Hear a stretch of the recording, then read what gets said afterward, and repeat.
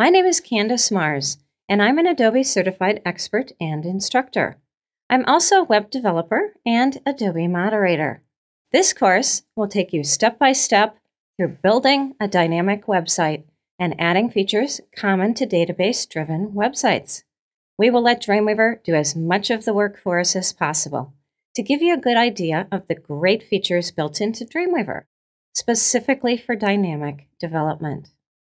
We will begin with a description of the database-driven website process, including the installation of the development environment.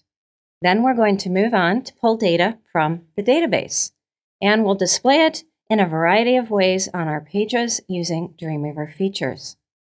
We then pass data to create a data drill down process on our pages. And finally, we'll build an administration interface to insert and update database data using a form. After working through this course, you'll be able to take these skills and develop your own database driven websites using Dreamweaver. I'm very glad to have this chance to lead you through this course and expand your skills.